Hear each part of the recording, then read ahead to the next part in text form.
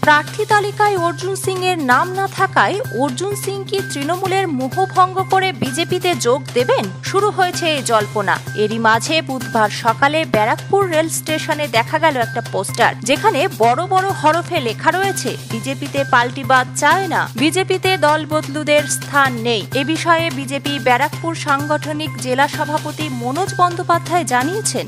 না, দেখুন, এটা তো বিজেপির নাম নিয়ে কেউ পোস্টার করেনি বা বিজেপির আমার মনে হয় আমাদের সাংগঠনিক পদ্ধতি এরকম কোনো পদ্ধতি নেই যে আমরা পোস্টার দিয়ে সমস্ত কিছু জানাব। আমাদের দলের ভিতরে আলাপ আলোচনা হয়, সমস্ত বিষয় হয়। এবং আমাদের যে প্রার্থী, সেটা আমাদের লোকসভা প্রার্থী সাধারণত আমাদের কেন্দ্রীয় নির্বাচন কমিটি যেটা আছে, তারা সিলেকশন করে। এই বিষয়ে আমাদের কোনো নেই। এই বিষয়টা কেউ ছেলেখেলা করেছে ইয়ার্কি মেরেছে, এরকমই বিষয় আছে। বা তৃণমূলে কেউ পোস্টার মেরে থাকতে পারে। এই বিষয়টা। কিন্তু বিজেপি সাংগঠনিক পক্ষ থেকে দায়িত্ব নিয়ে বলতে পারি এরকম কোনো বিজেপির কোনো কার্যকর্তা এই ঘটনা ঘটাবে না।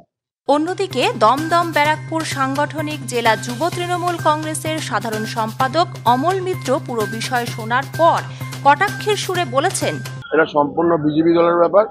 আমরা আমাদের ক্যান্ডিডেট আমরা পেয়ে গেছি তাকে নিয়ে আমরা মাঠে নেমেছি আমরা একশো শতাংশ শিওর তিনি জিতছেন এবং বিরোধী দলরা কি করবে সেটা তাদের সম্পূর্ণভাবে এটা ওদেরই কাজ। যারা দল বদল করে তাদেরই দলের লোকেদের কাজ। আমরা এইসব ব্যাপারে থাকিও না। আমাদের এইসব ব্যাপারে চিন্তাও নেই, কারণ আমরা আমার ক্যান্ডিডেট নিয়ে আশাবাদী। একশো পার্সেন্ট আমরা দিচ্ছি। Bureau report, Nobel Bangla.